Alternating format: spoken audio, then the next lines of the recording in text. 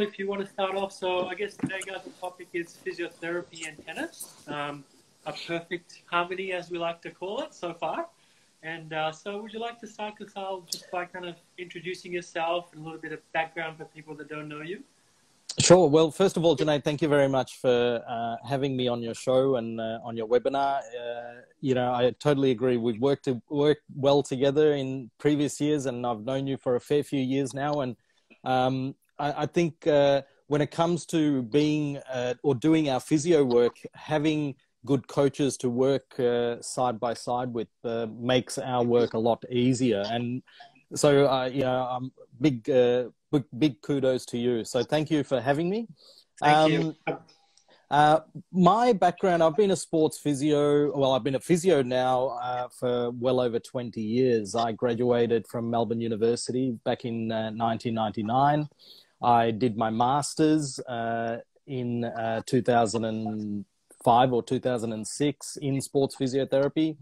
And um, I've only ever loved sport. It's one of the main reasons I got into physiotherapy. And, uh, you know, I've always wanted to get the best for athletes because uh, from a young age, I played all the sports. I was, you know, tennis is my second favorite sport. Cricket is my number one. yeah, yeah. Being from India, Sri Lanka, I definitely can understand. That. Yeah, I was born with the bat and ball, and you know, but tennis is, uh, you know, my brother and I. Um, he's a physio as well, so we always used to uh, play tennis uh, whenever we got a chance, and Dad pushed us into that. Um, and uh, you know, getting results for our, uh, our athletes, or getting results for my athletes, and getting it quickly is the key because uh, I've, I've, you know, in my career, I've worked with Olympians, Winter Olympians, uh, national level athletes, and the key thing all these athletes want are results and they don't want the results uh, later on. It's getting the best results in the shortest period of time. So that's a little bit of background on on me as a physio. Uh, performance, uh, you know, performance is critical for me, and uh, getting results. And I guess the other thing is I do lecture and consult. Uh, I've been lucky enough that the, the Australian government have asked me to take our work overseas and, uh, you know, I've written a few books on topics such as back pain, exercise, well being. Uh, and uh, yeah, I think i have been lucky enough that I've been able to take uh, my expertise all around the world. So it's exciting times. It is fantastic, and you know, like uh, I've read a lot of your research and your um, your background, and it's uh, it's just amazing what you're doing uh, through the university, Kusal. So I really thank you for um, coming on our program and sharing all your knowledge with with everyone. I think it's going to be really good.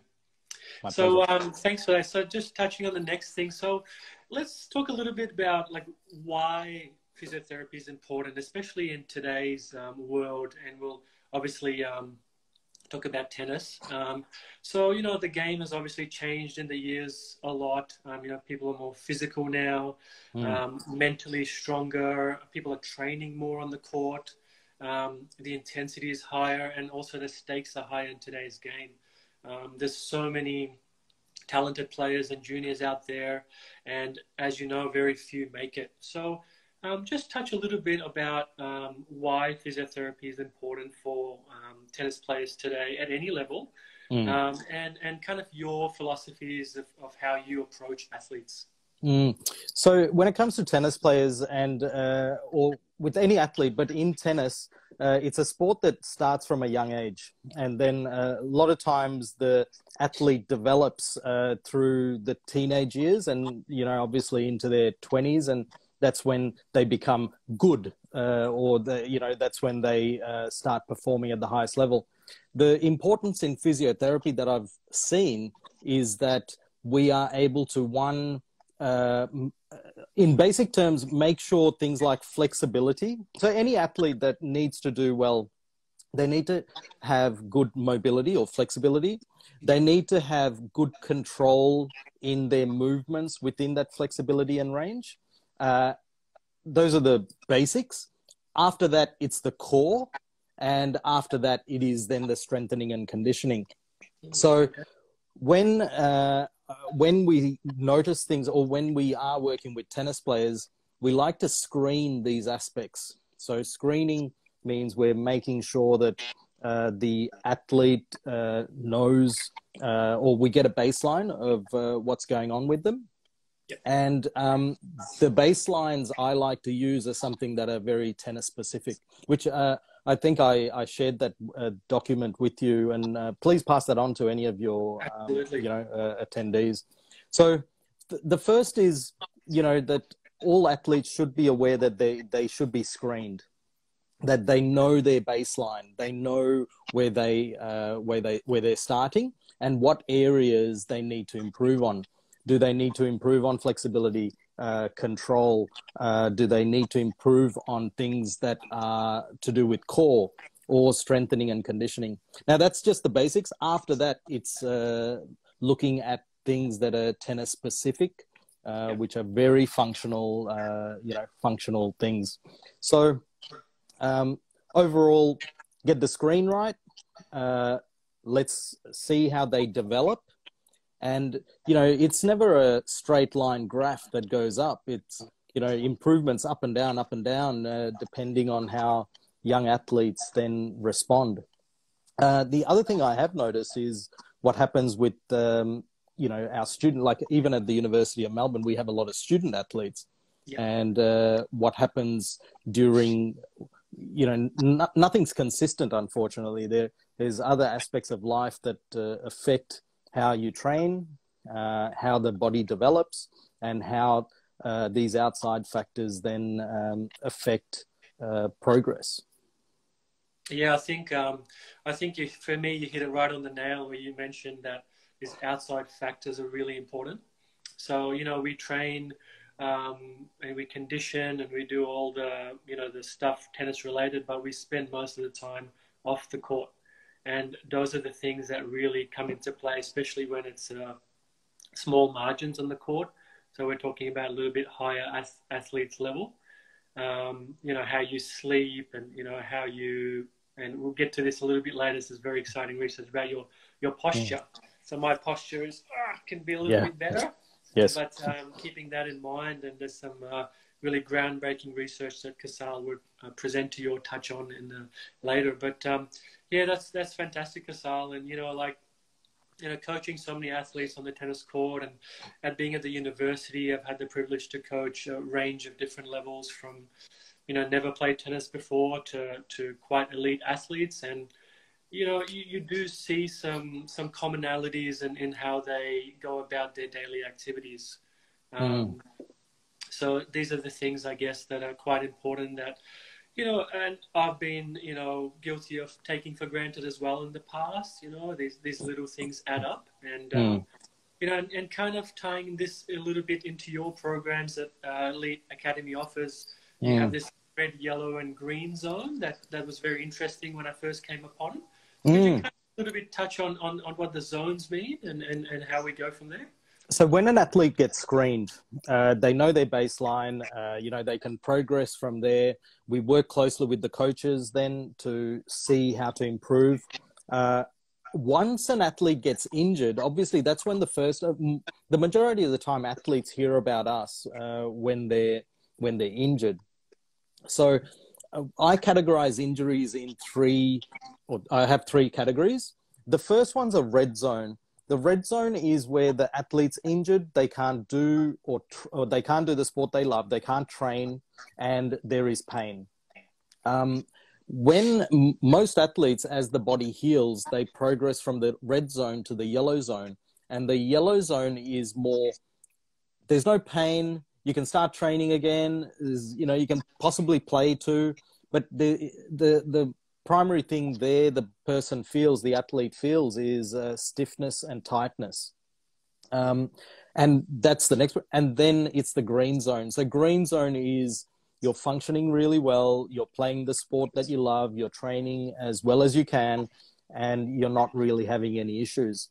So, um, it's the the reason why we created this is we found it so easy to communicate with our coaches and let people know Uh, you know, I could say, Junaid, look, uh, this athlete is in the yellow zone.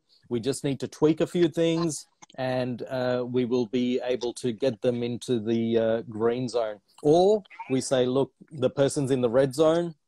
Uh, there's a fair few things that we need to work on.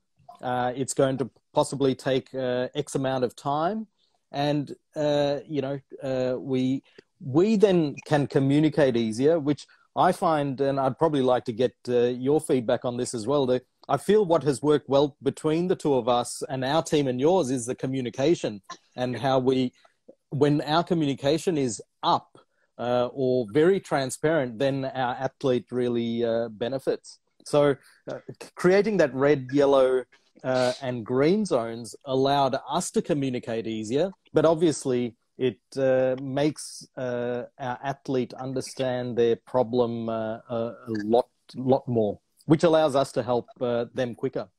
Absolutely, and and it, it definitely helped me understand um, what um, you guys were doing with the athlete as well in the in the physiotherapy rooms, and and um, it, it, it was very clear because you know you can only push an athlete so far as as what they're presenting to you on that day.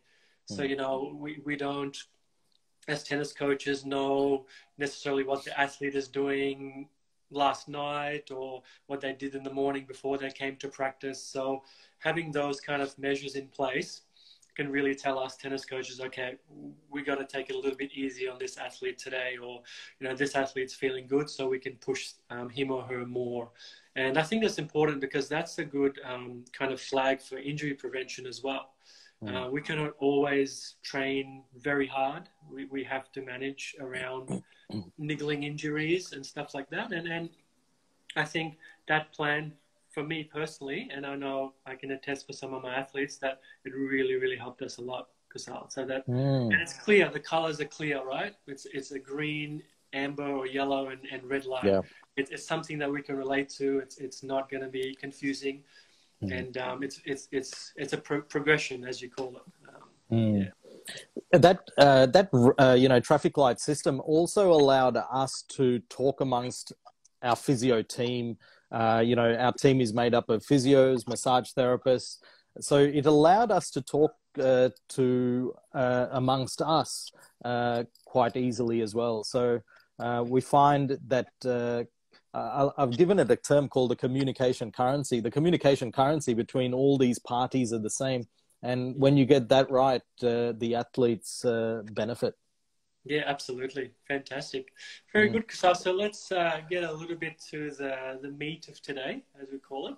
Mm. So we'll get to a little bit to the science. So. Um, that document, guys, Kusal shared a document. It's, it's on our Facebook pages, social media, everywhere. But uh, please contact uh, me or Kusal if you want that document. Uh, basically, it's it's um, I have it up here. So it's a screening for tennis players. Um, so you know, Kusal, could you kind of start off by talking about um, some of the red flags that you see in tennis players, the, the common mm. injuries, and maybe why these injuries are caused? So the majority of injuries with tennis players uh, have been in the lower limb. So, you know, they're either having knee problems, ankle problems, uh, lower leg uh, muscular issues, uh, you know, hamstring tears, uh, or Achilles problems. Um, then there's a majority of shoulder issues that arise as well. Uh, so those are the two key categories. And then the third category is anything spinal, uh, low back pain, neck problems, and one of the reasons uh, this has come about, I feel, is because, uh, you know, tennis is such a unilateral sport. There's a lot of change in direction. Uh, so the demands on the body are very high for power, speed. Uh, so, in, in essence, uh, there's always going to be some kind of breakdown in the joints uh, or the demand on the muscles. And uh, the key areas are that lower limb, uh, upper limb, which is uh, either the shoulder or elbow, uh, and then uh, the spine, which is uh, low back or the or the neck. Um, so, you know, when it comes to the athletes screening themselves, I like to, I'd like to get them having an understanding of what makes a good tennis player. One, they have to be fit, they have to be active.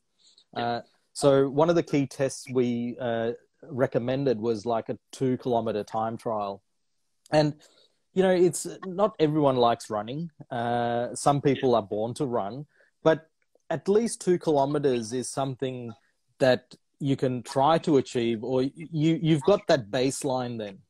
Yeah. So two, two kilometer time trial. The other uh, test that uh, I've uh, created or looked at is seeing how well an athlete runs from baseline to the net, uh, then diagonally uh, to the other net or the other side of the net, and then back to back along the baseline and come back, and uh, you know repeat that six times and uh, do that in uh, you know you have 30 seconds to uh, do that and repeat that uh, within that uh, 30 minute cycle uh, sorry 30 second cycle.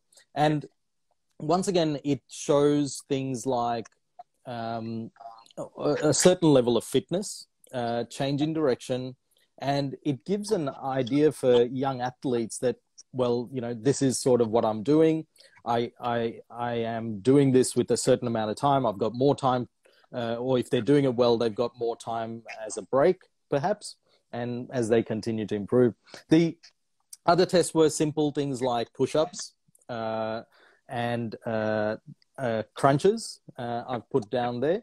Uh, push ups, I've also created it in a way that they can do single arm push ups, but that's against a wall because you know, you're still trying to.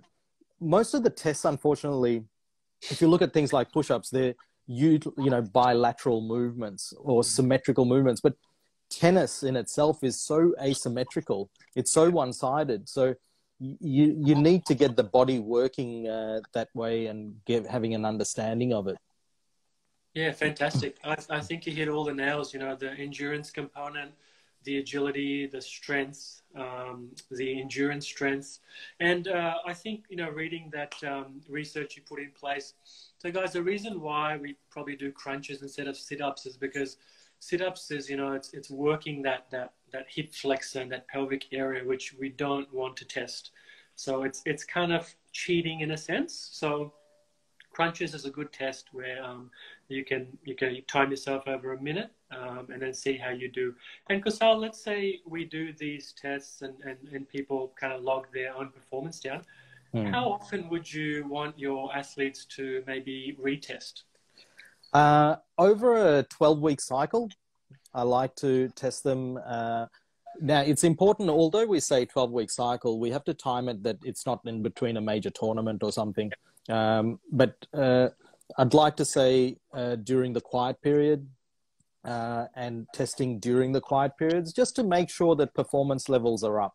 Uh, and, uh, you know, throughout the year, if it's a regular athlete, if it's, uh, if it's a regular social athlete, doing it every 12 weeks is uh, pretty fun. And, you know, you can log it yourself.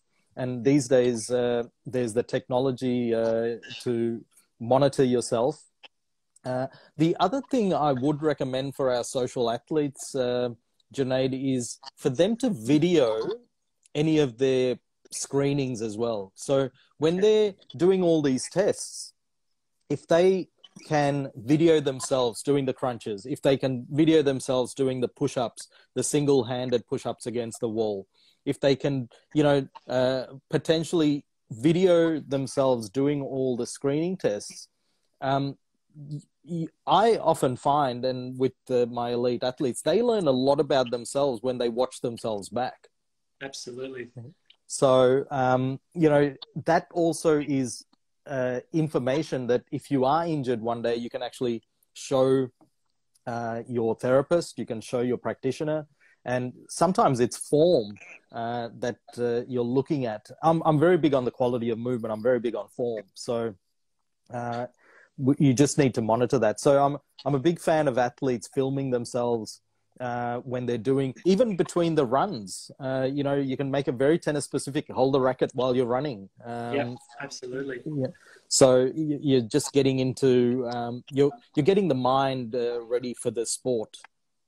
Yeah, absolutely. And I think that that kinesthetic awareness where you can kind of look back at what you've been doing is quite important. And, you know, we as tennis coaches use that on the court quite frequently nowadays. And um, most athletes are surprised what they see. Um, you don't really, not aware of your movement and, and, and how you've been moving in the court. And usually the surprise is not so good, um, which is good in a sense because it, it gives you something to, to strive for, give you something to improve on. Um, so I think it is very important, um, even if other people don't see the video, if you see it for yourself, um, it's very good, and especially over a 12-week time frame, many changes can happen, and um, and usually we see the improvement um, rather than a decrease in performance over that 12-week period. Mm. Um, no, those tests, yeah, those tests are fantastic as well. Yeah. Mm. So, from a coaching perspective, Junaid, what did you think about some of those tests and when I created them, you know, I wanted to make sure they were very tennis specific. So you as a coach, if you see that an athlete has done this and you can see some baseline numbers, you'd be, would you be happy with that? Absolutely. I think it's important um, to test a wide range of um, fitness levels um, on and off the tennis court because tennis is a, such a holistic sport and involves, you know, anything. Um, you, you have to be strong. You have to be able to change direction. You have to have the endurance to keep the quality and the injury prevention. Um, there's many tests that we do as, as tennis coaches on the court. At least I do. Um, mm. Definitely the the short endurance test around the one and a half. So you know a lot of experience in the in the US I had. We used to used to do the uh, one mile test, which is around about the 1.6k um, That's right. Mm. And, um, you know, in our college days, we had to complete it in a certain time and, and we would have kind of a, a, a frame to, to go by. So, you know, obviously that changes on the, on the level of the athlete that I am coaching. So, mm. you know, we have different expectations for beginners and intermediates, advanced to elite players. Um, but there is a certain baseline that we can um, test depending on the data that we receive um, mm. over many years of testing. But um, the agility test is a great one, Kusal. That's one that we definitely use. Um, sometimes we tweak it to um, having the racket in the hand, so mm. there's a little more connection to the sport. Mm. Because um, players do tend to move differently with the racket in hand than without a racket in hand, as you can imagine. Um, the acceleration is, is, is not um, as good for the beginner players with the racket in hand. Mm. But uh, elite players do tend to um, move better if they have a racket in hand, just because they've had that experience. Um, but yeah, like um, in terms of the video analysis that we do do, um, I do tend to video a lot of players um, doing these fitness tests, and I do send it to them. And mm. like you said, like these tests, they don't always have to be with a coach. They could be in the park. They could be in your backyard. Some of them don't need a lot of space. Um, but the positive thing is that we as coaches, um, we get a lot of information out of what we see. So it's really important for us to have that data and to, to give you the proper feedback for it. Um, mm. Rather than kind of just guessing, you know, this person's fast, this person's not. But um, when we have, you know, clear metrics, I think it, it makes our jobs a lot easier and it makes the feedback a lot better for you guys.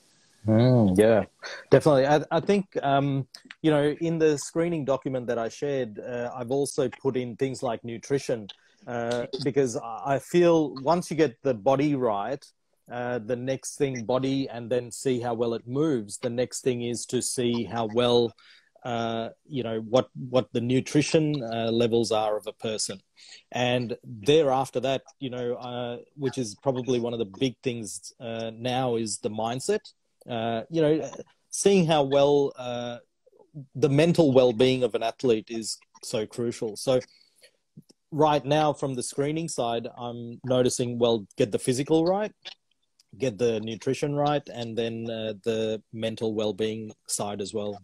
Yeah, absolutely, and especially in times like this, you know, when when COVID has hit us and everyone's, you know, their lives are just turned upside down, and uh, so the mental challenge of uh, life, let alone sport, will be will be quite quite a big demand. And, you know, there's a lot of help out there, guys. Um, Kusal has some you know experts on his team that can help you guys. Um, across the world, um, which is fantastic, I think. Um, so, you know, and Kusala, as you know, I'm very big on health and fitness.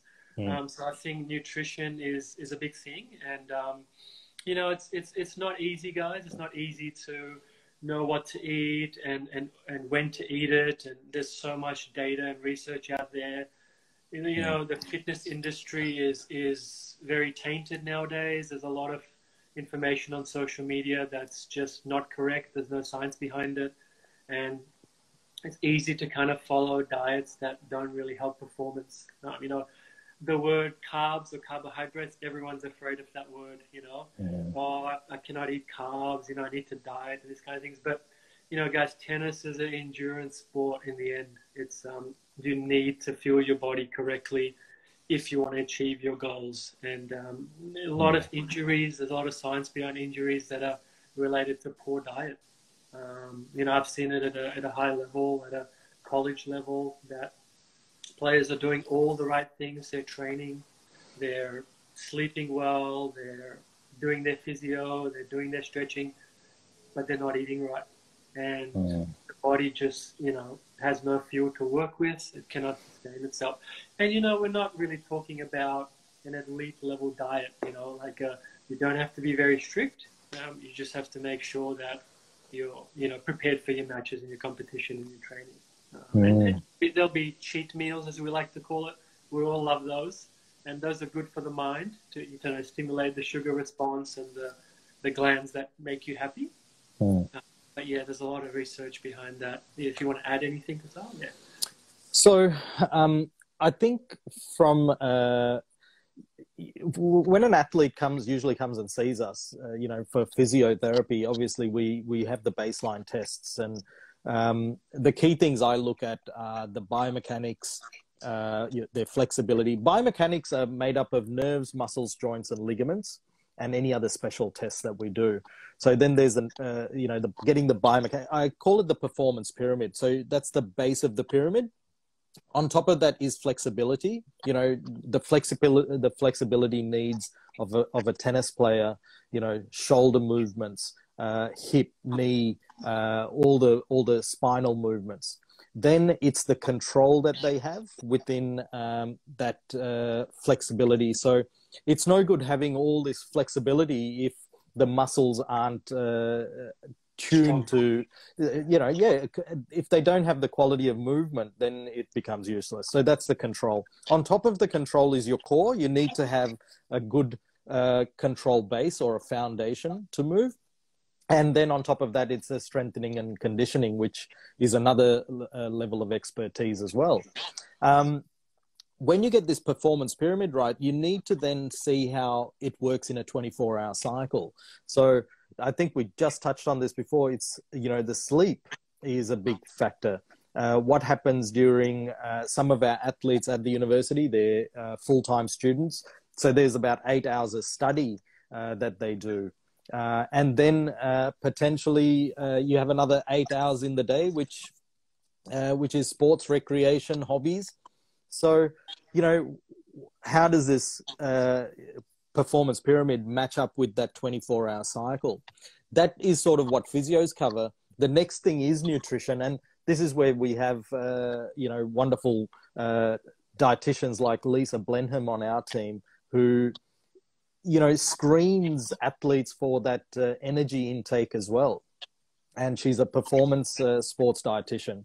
And uh, then uh, finally looking at the mind. So uh, we use this uh, questionnaire from Europe uh, that helps us ascertain, uh, you know, mindset, um, and it allows us to see how the athlete is, you know, as a as a whole, and then gives a lot of information to one the the sports medicine team, but also the coaching coaching side.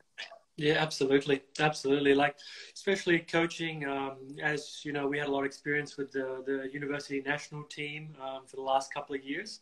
Mm. Um, you know, mix of different talents and and personalities and, and backgrounds and experience, all trying to work in harmony to to win a national championship. And um, I think looking back two years ago when we won that title, and I see some of our players here, um, you know, hi to Macy and, and Belinda if they're still with us. And uh, you know, as they can attest, um, one of the the key elements was, um, you know, how that team combined together, the the, the structure of that team, and um, that kind of boils down to you know, trying to do go that extra mile to do more for your teammates.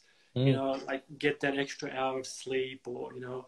Um, mm do the one percent, you know, go and get that massage with Kusal and his team, and you know, do do the warm up properly and do the stretching after, and you know, instead of going and eating that burger, you know, maybe go for the pasta. You know, these yeah. these little things definitely um, definitely add up, and um, and it you know, food food is not only fuel for the body; it's fuel for the mind, isn't it? So you know, combining that that mental awareness of you know how am I feeling today, and if I'm not feeling so good, like can I do something to improve and you know, mm. maybe looking looking at the training, but also looking at at the diet and your mental state.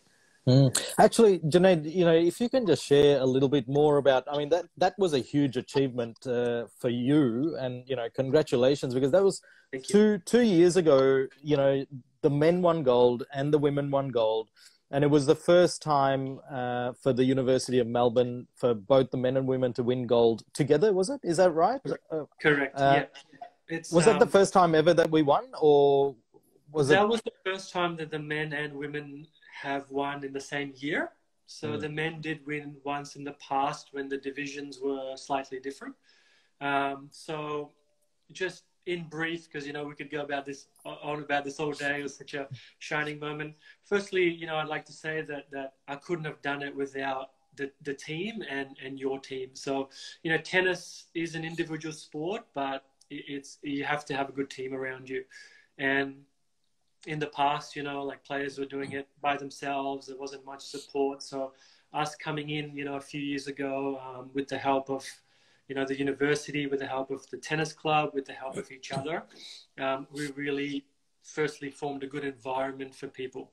So if you have a good environment you, are going to flourish. You have the chances of flourishing are more. Hmm. so you know personally for myself um, you know learning how the players train and, and, what they like to do. And, you know, some people like to, you know, um, train harder. Some people like to take it easy. So it was a learning process for me because, you know, from my background, um, everything is always hard training. Like you train, you train, you train, and you give everything you have. So my biggest, I think, achievement or my proud effort was just learning the personality of the players and trying to make them be cohesive with each other. Um, so that was, I think, um, one of the big factors why we did succeed is that there's just the players enjoyed around being around each other. Um, they were happy to be out there. Um, their mental state, as you talked about, was was amazing. Um, everyone had a good cohesion, and then the tennis took care of itself. To be honest, um, mm. and I think um, the players were very invested in what they were trying to do. They had a, we were all on the same page. We had the clear goal of, um, you know, winning the championship. We really, really just wanted to win it. I mean, there's always a good thing to, to go out and obviously give your best, and that's all we can ask for from coaches and from players. Um, your, your best is all you can give but you know having that that little extra you know we, we want to win it this year it's, we're, we're close but close is not good enough. We, we want to take that extra step. And I think that's kind of the, the image that I try to portray to the players that I'm always there for them. Um, I believe in them that they can do it. And, you know, coming from that coaching perspective, I, I hopefully that looks like it paid off, right? Yes, yes, definitely. Yeah, it was a and tremendous. We learned a uh, lot from the players. We learned. A, I learned a lot from the players. Mm. Yeah it was a great thing. But um, yeah, just you know, got a bit sidetracked there. Sorry, guys. But so touching no, on this, exactly. Mental, That's great. Uh, test that you have, so I'll share it with with people who want it. but basically, it's it's a very simple. Um, uh, measure of your mental state. So I had a mm. question for you, Kusal. So there's a little kind of uh, zero to hundred marker on there. Mm. It talks about you know how good are you feeling today out of hundred. Now would we test that marker um, would we measure that marker with how our how we're feeling today, our best today, or or how we want to feel in the future? Like, how do we? Where is that hundred? Uh, I think I think if you think of uh, just a marker saying, you know, 100 is the best you could ever imagine. You know, 100 is the best possible thing. On any given day. On any given day, 100 is the most amazing thing. You know, sometimes you have days like that where you feel on top of the world. And then uh, you also have those real uh, downer days. So um, uh, the questionnaire, which is the EQ-5D, uh, um, it's a very simple test. I think there's only six questions on it. It just tells us you know how you're doing uh, on in everyday life, uh, sports or activities, and then uh, they also ask you a question on anxiety, anxiety, and uh, you know well-being, mental well-being, and depression. So you know the more honest you are, and I think this is a key thing now uh, with uh, COVID nineteen around us is there's a lot more connection between the physical elements of the body and the mental uh, side of things as well. So, uh, when it comes down to being honest with yourself, uh, that's probably the first place to start. It's very similar to, you know, there are some athletes I've had, you know, going back 10, 15 years, they'd be like, oh, yeah, I've just got this hamstring issue, but I can play through the pain, Kusal, you know, that sort of that bravado uh, sort of mindset. But um, that's all well and good, but uh, you know, if you're testing against something and the tests aren't lining up, then you think, oh well, I, I, better get myself sorted. So now I feel we have a lot more people having a very good understanding of mental well-being. Uh, you know, this is how I'm feeling today. You know, and taking some stock into, you know, taking stock into why that's happening potentially, and once again, I like to just give it like a, a you know red, yellow, or green uh, nomination and say, you know, are you in the green? Are you in the yellow? Or are you in the red? And if you have uh, a succession of days in the red, you're thinking, well, I better I better sort something out. Something's got to change, right? Yeah. Yeah, mm. I think you know it's it's it's it's hard to assess yourself, isn't it? It's hard to be honest sometimes with yourself, and especially with um, you know coaches out there. It's you know you always want to do you know hopefully do do well for yourself, do well for your coach. So sometimes it's hard to you know be like mm, maybe today I'm not really feeling it, and um, mm. but I'll kind of fake it. So yeah, these kind of things they're, they're human nature. It's it's hard to go against those, but that's the first step, isn't it? Being honest with with yourself. First, being honest with yourself, because you know it's it's very hard to always have great days. Um, yeah, over at at the university, we see a lot of Olympians, Winter Olympians, and you know we we work with them right through the year. Now, the times when, and if we are monitoring them, uh, say every month, and we're uh, seeing how they're going, the months around June and the months around November we notice that our student athletes their problems are a little bit more heightened. And it's because it's the exam period.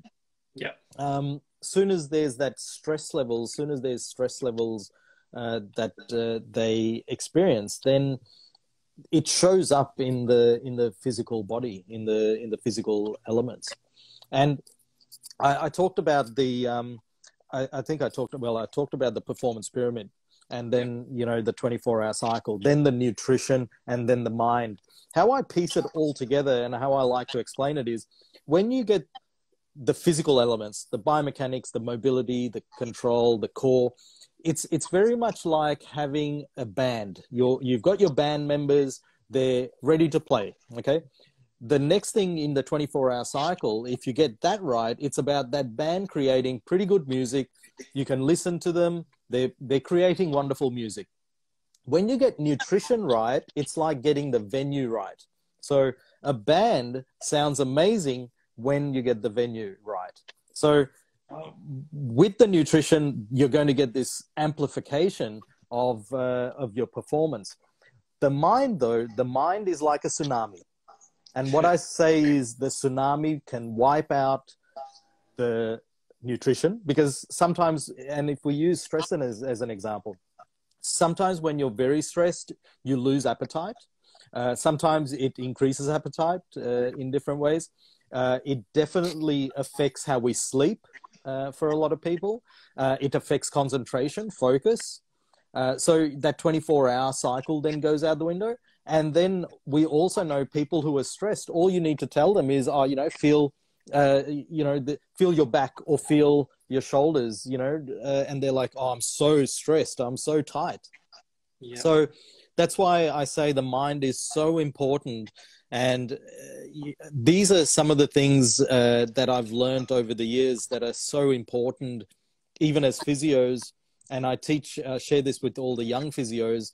You know, please make sure you're you've got some kind of check or a checklist on uh, the mental well-being of your athlete because that that then completes it absolutely I mean, you know, the, the common saying, you can do anything you put your mind to, it's, it, it it's definitely holds some truth, um, especially during these times. It's, it's, it's very tough. It's very tough. And um, it's, it's, it's common to get down on yourself, to think about the future, and you don't realize what stress you're putting your body through. I mean, we all stress. We, we, we can't, there's no formula where we cannot stress, but how we manage it, I think that's what we're trying to accomplish, you know, through the diet, through the awareness that we are stressed and how we're feeling, and then obviously mm. through some of the, the healing therapies. Yeah. Mm. I always like to look at stress as uh, it's it's more like an indicator that it's an area of growth for, for yourself. It could yep. be from a physical uh, physical standpoint or even a men- mental standpoint. So stress is something that is it's like an outside factor saying, "Oh, hang on, just here's an area for you to work on," and uh, if you then address it, you then grow another level because then you don't have to ever worry about that again, or you know how to control that situation. Yeah, yeah, and we all deal with stress differently, don't we? So you know, some people deal with stress by eating more food, or some people like to exercise, or some people like to watch a movie. So mm. whatever works for you guys, do it. Um, yeah. As long as it's healthy, as long as it's positive, um, this will help back to your tennis and your performance. This will help you achieve better results and um, you know hopefully keep you injury free. Mm. Yeah, no, I think that's very true, Junaid, because if you look at some athletes, they might say, oh, for my fitness, I need to go on a bike, or for my fitness, I need to go on a treadmill. Um, everyone's different from a physical standpoint and mental well-being is the same thing and uh, when so one of the key questions i ask uh, my athletes are you know is stress playing a part in your life right now and mm. if it is um, if it is what do you normally do to uh, alleviate that stress? And they might say oh look i love reading or i love uh, you know just shutting down completely. I sleep uh, eat or all those other things that you sort of mentioned or massages and things like that that uh, really help alleviate. Yeah and, and we would for you guys that are viewing us we would love to hear your thoughts on you know how you guys deal with stress and um, you know if you have any questions feel free to comment down there. We'll, we'll answer them towards the end. But uh, yeah it's very interesting. You know personally for me how i deal with stress is i exercise. It makes me feel good. It releases the you know the happy hormone. And um, so every time I'm feeling down, I, you know, feel some motivation. You know, I'm a big Rafa fan, so he motivates me all the time, and I watch his videos, and it pumps me up, and I go and exercise. And yeah. you know, it's killing two birds with one stone. I'm, I'm, I'm healthy. I'm, I'm, I'm doing the work, and I'm feeling better. And you know, it might be temporary. It might be not all the time, but uh, this this is how I guess you can deal with some of the stresses um, that, that are presented to you. Yeah, mm. yeah fantastic, Kusal. Very good. So, shall we um, move on a little bit? Should we talk a little bit? So, yeah. I wanted uh, some of the viewers to know a little bit more about. Um, obviously, it's COVID. We can't really go many places. Um, most of your work in the past was done, you know, face to face, just as tennis coaching. But you know, you've done an amazing job, I think, um, of really connecting with people um, online. Mm. So, what I guess, how have you transitioned your mindset in your business to helping people achieve these goals online now when, when we can't meet face to face? So, as you know, university is still shut. Uh, we that's where our clinic was So most of our athletes were coming to the clinics, seeing us there. Uh, majority can't see us, but uh, there's always this opportunity for our athletes to, or for us to connect with our athletes through um, uh, things like uh, teleconferencing. So telehealth is a big uh, avenue, and we have used a, a program. Um, I mean, the good news is there's so much technology out there. So we, we're currently using a, a program called TeleHab. It's by this wonderful company, Australian company called Vald, um, and what we do is, uh, if it's like a tennis player, they might say, "Oh, Kusal, I've got this shoulder problem." Um, we will send them all the tests, uh, and they're video-based tests, and we'll say, "Look, here are the tests that you can do," and because uh, as physios, we're always looking at movement and seeing if they're getting proper movement. We can pick up if they're doing that exercise right or wrong because they're they're going to video themselves on those uh, exercises or the, the assessment and send it back to us. Now, all of this, we don't need to do it face to face. And uh, they can then send that to us, we'll evaluate it, and then get on a conference call with them. Wow, and it is, it's really good. And then we uh, use uh, uh, an online program, well, TeleHab, which is uh, also, it allows us to prescribe the exercises. And we would then prescribe the exercises saying, well, your shoulder problem looks like it could be coming from the neck, or hang on a second, looks like it could be coming from your back. We need to then uh, exercise those areas. It's either something to do with flexibility, control, core, and, uh, you know, and I guess the other thing about the human body is it has a natural ability to heal under the right conditions. And if that's then the case, we know that uh, so with our athletes, I touch base with them every four weeks. Uh, if, if, for example, they come in on that first session, uh, that I'll touch base with them every four weeks for uh, three months. So it's literally after, potentially after three sessions, uh, they're going to then have a, a better improvement. So, you know, what COVID has done is allowed us to become a little bit more creative yeah. uh, with our assessments, uh, become a little bit more creative with our analysis of problems, and also the prescription of uh, what we do. Uh, there is a big component as a sports physio. We, you know, we like to use uh, the the the hands-on element, but if we can't do it, we still try and get uh, very close to that. And the other thing here is the research is showing that um, there's some very good results with uh, uh, telephysio.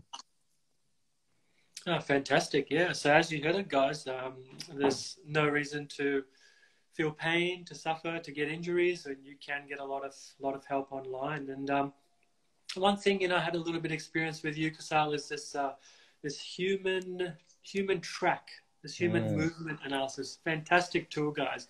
Can you tell um, the viewers a, a, little bit about um, how that can help you know, mm. some of them? Yeah. So, HumanTrak was also developed by Vald, and um, HumanTrak. I like to explain it explain it as it's the MRI for human movement. So you're standing in front of a sensor just like this, the camera. You'll be, uh, you know, moving head, moving shoulders, uh, moving your body, uh, hips, knees, and we do all these tests to see, and we will then get a complete readout. I think it's something like 20 pages, the complete readout uh, with all the graphs, uh, with all the pictures, how that person has moved. And then as sports physios, we evaluate that information and say, oh, hang on a second. Um, these are some of the things that we didn't pick up with the naked eye. And uh, these are some of the things that we didn't pick up when we were doing our specific tests. So it's made, it's pretty much made uh, our physio work and the objectivity. So the measurements uh, are very accurate and uh, very close to then getting things like even the screening done. So um, HumanTrak, yeah, we we've now implemented that uh, ongoing. Uh, I am consulting at uh, the Restore Movement uh, Physiotherapy Clinic in Ashwood. So when athletes then are given these programs online, they go and do that. but they have the capacity to come for one session, get uh, the um, you know this human movement MRI, get the HumanTrak done, and get the full analysis. And that uh, that as well, I like to prescribe uh, getting that done every twelve weeks, yeah. Uh, because every twelve weeks. I like to say every twelve weeks because it's like every season. You get it done once in summer, once in spring, uh, autumn, and winter because the body changes with the seasons and uh, we we actually you know work differently uh, the cooler months the warmer days you know all of all of those factors fantastic that's a, that's a really really good tool to have isn't it and um, um, yeah and that's accessible to to people that want to use it is that still accessible yep. yeah yeah fantastic. so if people want to come in for that um, I do a tennis specific uh, uh, uh HumanTrak uh, screen, uh, and it. I think what people the feedback has been that it's so comprehensive.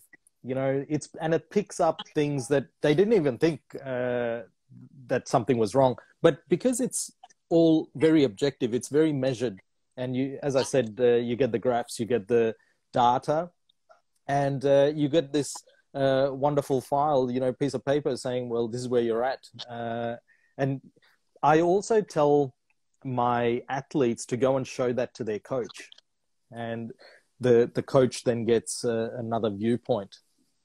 Yeah, and you know it's it's it's a good leeway into. Um, so you know one of one of my athletes, if you remember Stephen, he did the uh, Stephen did the test with you, and um, you know looking at that data of, of Stephen Murphy. I don't know if he's with us today, but um, mm. you know we found out that actually his when he was just standing still that he had more forces on one leg versus the other. And, you know, it, it was not very significant, but it was significant enough to where it kind of allowed me to link some of my lessons to why is he able to push harder in one direction to the forehand than the backhand. And, you know, mm. and one of his legs were weaker. So using that kind of data, it allowed me to do some of these these tests on him. And uh, yeah, his left leg needed to catch up. And um, and as you know, if one side of the body is stronger than the other, that's prone to injuries right there. Yeah.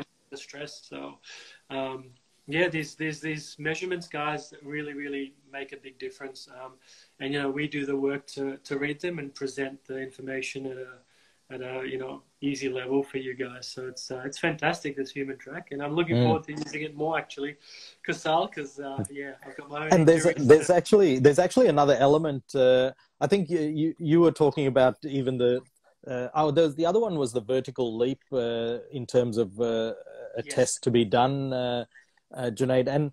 the other thing about the HumanTrak, and we're going to be implementing another thing called the ForceDecks, which is force plates.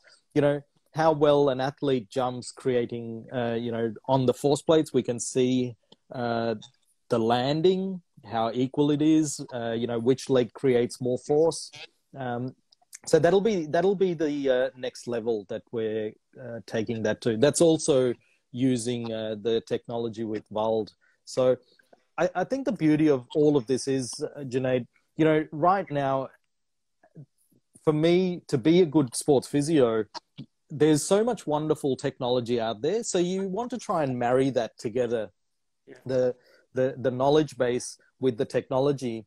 And you know things become very objective very measurable. And everyone loves to know where they're at.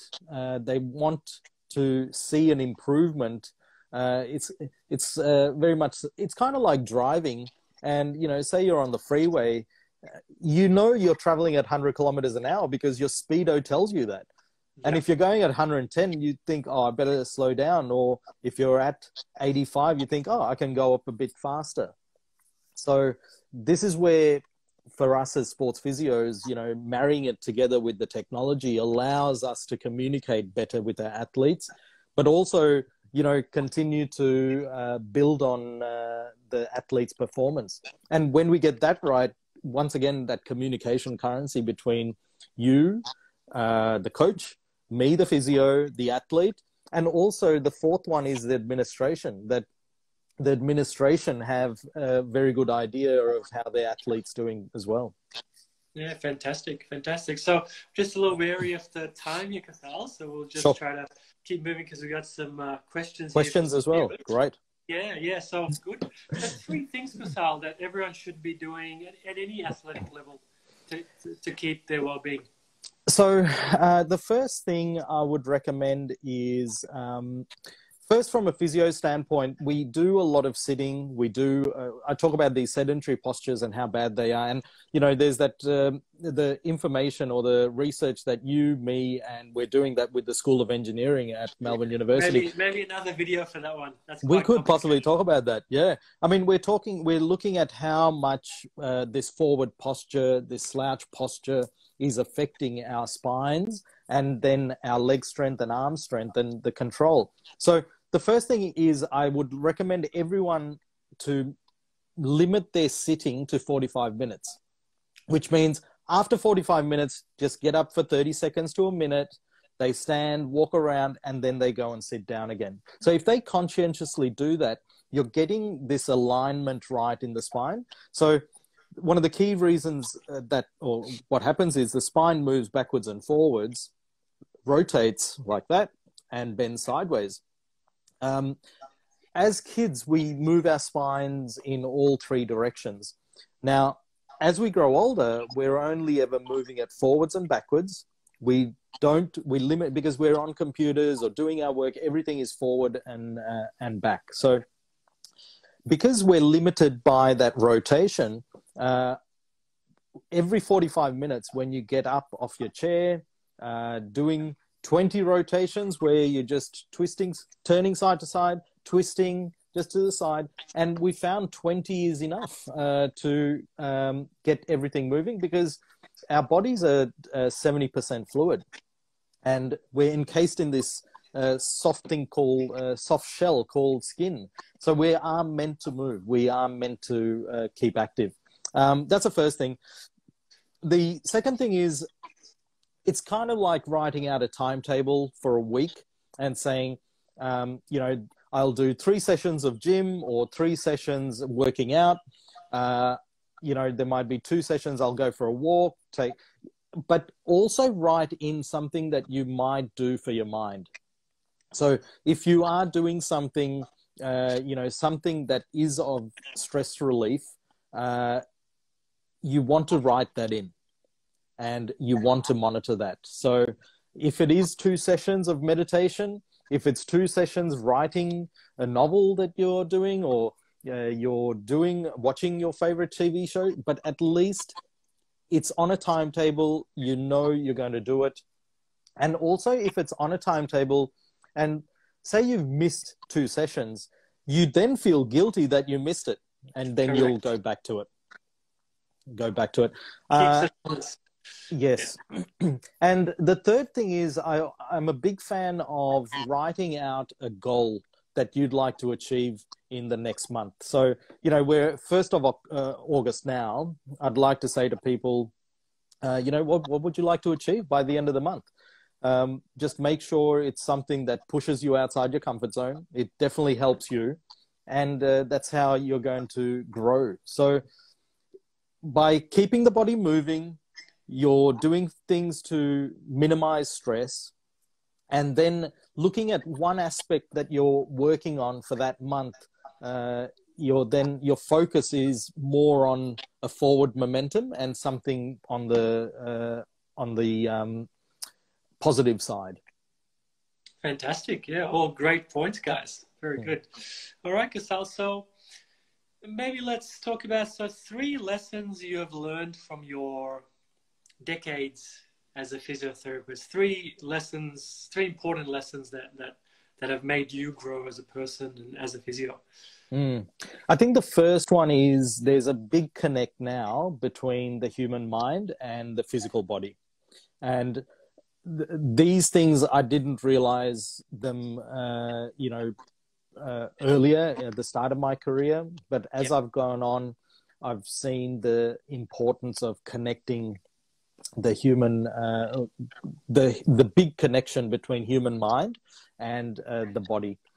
The other aspect is uh, what I'm learning more and more is uh, the importance of being in the moment. So, uh, being in the moment is having a complete understanding of my complete power right now is uh, being on this webinar with you right now. I'm not focused on anything else. Uh, and everything else that's happening is outside my control. The only control I have now is uh, you and me talking. And yeah. you know, like the like the example of uh, you know uh, Instagram shutting us down for for a moment, then then we gotta we gotta get back on. Yeah, so um, that's probably the second component. And the third thing I've learned is um, the importance of human connection. And the human connection side, what uh, I feel is we overall we have become a lot lonelier as people, although we're so connected with the technology. But we have to make ourselves accountable to keep the, keep those connections up. Uh, very different to you know our grandparents, great grandparents' time, where everyone was close, talking. Um, but now we have the technology to connect with friends, family. From uh, I think we're all very lonely still. So those are sort of my learnings at the moment. Hmm. Um, Morcal Thomas Thomas uh, has a question, Kusal. He's uh, one of my ex-college teammates from United States. So, uh, hi Thomas, if you're watching. I uh, basically asked in um, like a better word. So, how important is breakfast? So he mm. says that uh, he knows some players or athletes that don't really pay attention to breakfast or they skip it. How important is, is breakfast in, in performance? So, uh, some of the latest research that we've been following, um, there was some cancer research that came out. The cancer research pretty much showed that um, these people who were about to get chemo, they went on a, uh, it was a water diet for three days before they got the chemo. And just by giving their gut a break, and they ended up taking the water for three days, and then they got the chemo. Those people, they the cancer actually, um, the cancer cells uh, decreased a lot faster, um, and um, it allowed for them to recover after. It allowed them to recover after uh, recover from the chemo a lot faster. Okay. Then people actually check that with um, people actually check that uh, with athletes, and they found by doing like a one day water diet was enough to allow for the gut to have a break. Uh, so we're finding that you know gut health is uh, very important uh, in terms of performance. Now, when people skip breakfast, it's a similar concept. It's a concept of fasting, and it's a concept a concept of intermittent fasting. So uh, everyone's different. Uh, some people can tolerate it. I think once again, it's per- personal preference. But that hard and fast rule of you know you always need to have breakfast is not true anymore. That's my experience. Okay, excellent. Hopefully, Thomas, that was good for you. And it's it's it's um it's something that we as tennis coaches also um, don't have a hard and fast rule. Um, and it also depends. Are you playing your match in the morning? Then yes, you need to eat. Um, is it a day off? Um, are you off season? So a lot of factors come into play. Cool. Yeah. And um, so uh, Radhika, one of my clients, um, she had a question for you, Kusal. so basically, she said this HumanTrak system. Mm is it for only elite athletes or anybody can use it? Oh, anybody can use it. We we recommend everybody because uh, once again, it's like uh, driving um, driving down the freeway without a speedo. So you know, regardless of whether you're elite or not, uh, you know, you'd love to know what your speed is, and uh, I, I, recommend it for everyone. And everyone, you know, at uh, Restore Movement uh, has been loving it. Excellent, excellent. And um, she missed the question on the red, yellow, and green zones. Mm. Um, if you can just quickly summarize what um, what you mean by those in terms of yes. screening. So, every athlete uh, goes through three zones, and when they're injured, red zone, completely injured, uh, they are in pain, they can't play the sport they love, and they can't train. Once they, from that level, uh, they improve to the yellow zone.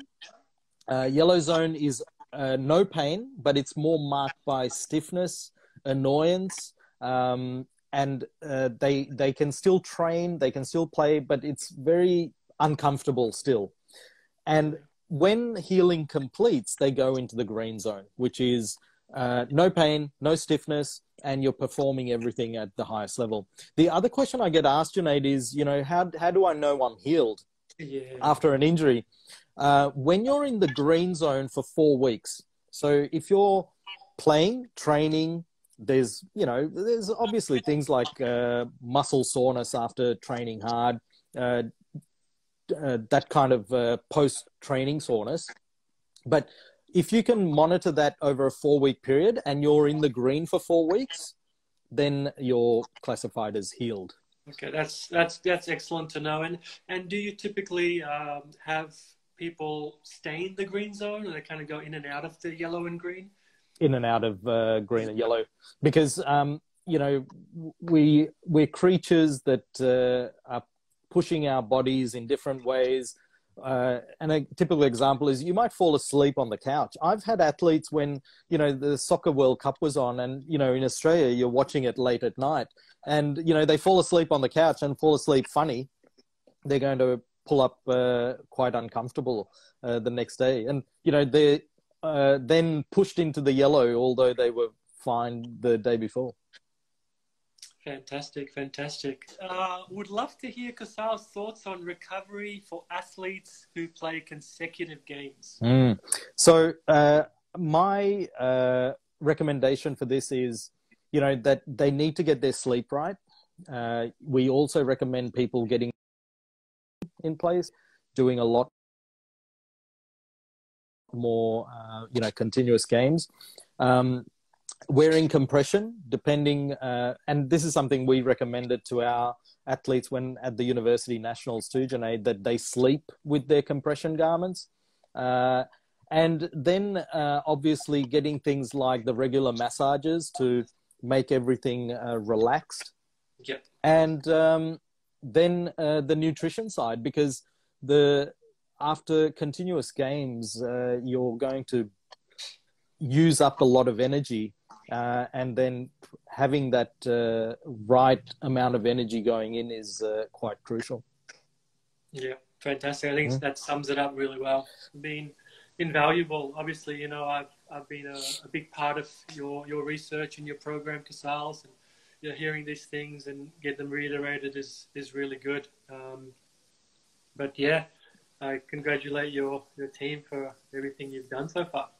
Wonderful. No, thank you, Junaid. It uh, always, um, I feel uh, it always makes our work a lot easier when uh, we have uh, coaches that communicate uh, so easily, and you know that that makes our work a lot easier. And also, um, I mean, uh, I applaud your athletes too. A lot of times, you know, they talk about oh, Kusal or the team. We, we're wonderful physios, but we're only wonderful because uh, the athletes listen to our guidance and follow through uh, with what we say. And I have to applaud your your tennis players. And every time we've gone over for the uni nationals, you've chosen very solid teams to go over, and obviously that's shown in the results with the gold medal, uh, uh, gold medals, and the silver medals. Yeah, Um, and they're and they're wonderful athletes to work with. So I want to thank thank them all, uh, including you. yeah. Thank. Thank you, thank you. We really appreciate it. And um, yeah, I mean, you know, this the saying goes, you know, the tennis coach is, you know, just a small part of the success. It's it's the athlete that we're we're focused on. We're driven by the athlete. Um, it, it is it's it's their life, it's their performance, and we're here to you know to guide you and, and Mm. step you on, and the rest is up to up to you guys. You know. Um, Mm. and I think, as you said, that that national team did really, really, really well. I think they have, you know, they- they'll remember this this national championships for a long time. Yeah, Yeah. very good, guys. Thank you. Well, um, if there's no more questions, guys, just to sum up, um, so now you can find, you know, myself and University of Tennis Academy. We're on Facebook, social media, email, and uh, Kusal is with uh, Elite Academy. Um, so I'll uh, send you guys that website and that link there if you want more information on some of his programs. But um, thank you, Kusal. It's been amazing. We've talked for a long time, but I've enjoyed it. Um, and you know, hopefully, guys, we can bring some more um, exciting research to you soon, especially the one we're doing with the University of Melbourne Engineering Department. So there will be some videos coming your way, and uh, it is groundbreaking research. It's um, one of the world's first. Mm. Very proud to be part of that, Kusal. Thank you. No, thank you, Junaid. Thanks for having me. Thank you. Take care. We'll speak to you soon. All right. Take care. Bye. Thanks, guys. See you.